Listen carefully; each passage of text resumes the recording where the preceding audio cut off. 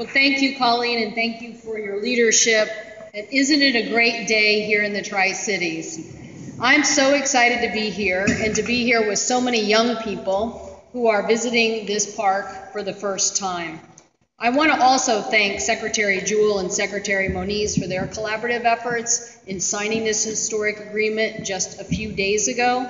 And Chip, thank you so much for being here and for your leadership and for Director Jarvis and all that he is doing on this behalf. I couldn't have worked harder on this project with anybody else but Doc Hastings. And I'm so excited to be here with him today because he and I worked very diligently on this effort at a time when people first decided to commemorate this story as part of our national history. A little known fact that people said, let's commemorate as part of our national history, the Manhattan Project. But their first recommendation was, let's leave the B reactor out of it. Well, I tell you what, Doc and I had something to say about that. And the answer was, the B reactor is going to be front and center in this national park. So I'm so happy to be here with him today. So more than 70 years ago, this Manhattan Project was established, and as Colleen said, it changed the world.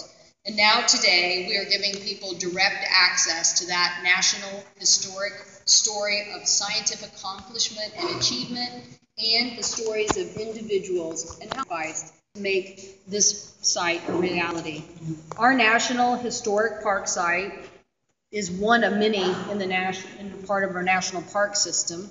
Places like Abraham Lincoln's home and his history and contribution the history and contribution of the Wright brothers and the beginning of aviation.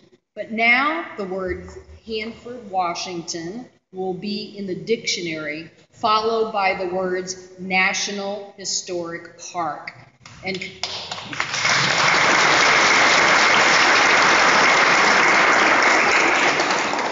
and commemorating both the incredible scientific achievement and, as I said, the incredible work by so many people at this site. The Hanford project was selected as the nuclear reactor site in 1943, and the B reactor was the first, the first full-scale plutonium production ever built, and it took just 11 months to be constructed. Doc, at the signing the other day, one of the park officials said that senators had to go back and vote, but he said, "What? You guys don't vote." He said, You're hardly ever voting. So when I got up, I reminded him, It only took 11 months to build the reactor. It took 11 years to get the DOE and D, D, Department of Interior to work together to get this thing going. So, anyway, it was our way of saying uh, we, we wanted productivity to happen a little faster, but we're happy nonetheless that it happened. And Hanford's story, I just want to mention one person.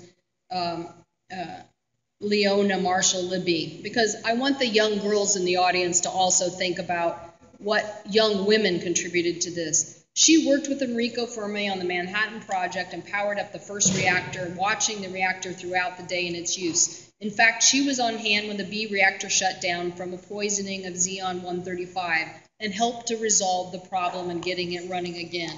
So I hope that today a lot of young women, young girls will look at this technology and say, what is my contribution going to be for the future?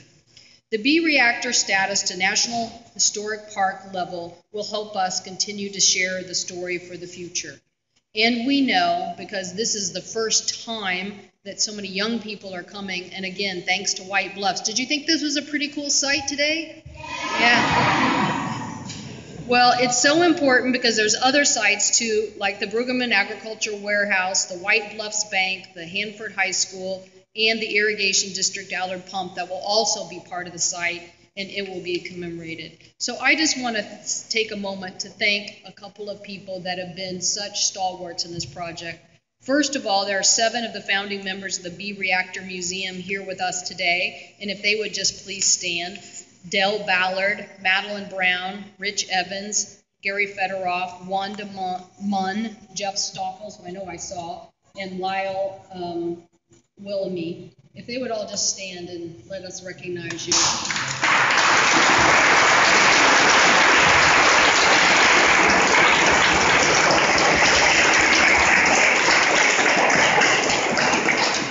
These people have made incredible contributions. I know uh, when a friend of mine, uh, the, the late Norm Miller, who was part of this association, took me on a tour here several years ago, it actually brought the place to life.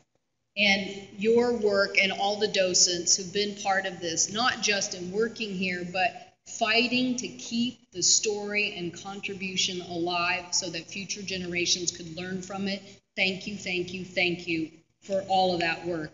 I also want to again thank Colleen French for her incredible work from DOE, Chris Watkins from the Visit Tri City, Carl Adrian from TRIDEC, Pam Larsen from Hanford Communities, Dave Reepelag from my staff, who I think has been to a zillion meetings on this and continue to work, but also to all the mayors and former mayors, John Fox, Dave Rose, uh, Matt Watkins, Brent Gerry, and Steve Young. Thank you for continuing to just push through on what was an incredible effort by the community to reinforce what these Hanford Museum advocates knew all along. This was worth preserving. And now we have this, our National Park book, and a stamp commemorating this site. Thank you all very much.